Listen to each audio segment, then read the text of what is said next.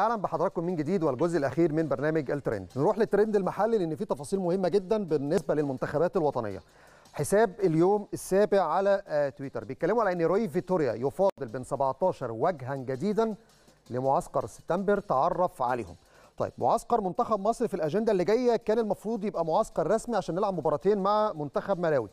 تم تأجيل معسكر شهر 9 إلى أو أجندة 9 لأجندة مارس 2023 وبالتالي شهر 9 هتبقى كلها مباريات ودية للمنتخبات الإفريقية. فيتوريا عايز يلعب مباراتين. حسب المعلومات اللي عندي إن في تواصل تم مع الكونغو الديمقراطية ومع توجو ومع أكتر منتخب إفريقي للاستقرار على اختيار أحدهم في الفترة اللي جاية. أجندة 9 هتبدأ في الفترة من 19 إلى 27 9 يعني بعد مرحلة الدور التمهيدي الأول في دوري أبطال إفريقيا هتبدأ على طول أجندة شهر 9 الكلام اللي طالع أو المصادر القريبة من روي فيتوريا إنه مش هيضم لاعبي النادي الأهلي نتيجة طبعا حالة الاجهاد وعشان ياخدوا مساحة وقت للراحة السلبية. أعتقد كمان الأمر مش هيكون لعيبة الأهلي بس. في أندية تانية هتطلب ده من المنتخب الوطني.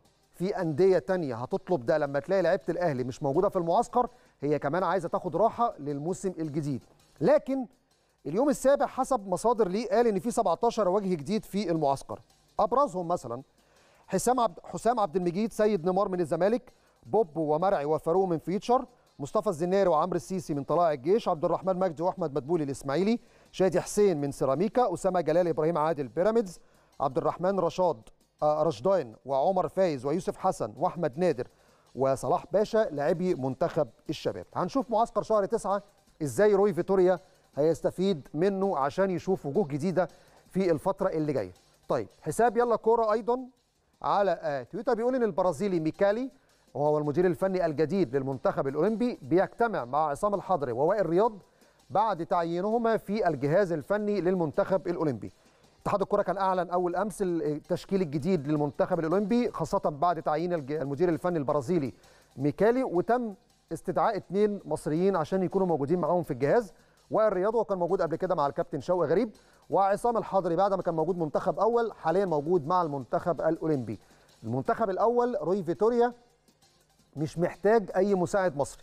وقال لاتحاد الكورة لو هتجيب مساعد مصري عشان يستفيد من الجهاز اللي موجود ممكن يكون موجود بس مش معانا في المباريات الرسمية. عشان كده لغاية اللحظة دي مفيش حد تم الاستقرار على اسمه عشان يكون موجود بالاختصاصات دي أو بالشروط اللي حاططها روي فيتوريا. ده هنشوف الفترة الجاية هل في مساعد مصر هيقبل بده ولا مش هيكون موجود وبالتالي الجهاز الفني هيكون كله برتغالي من خلال روي فيتوريا.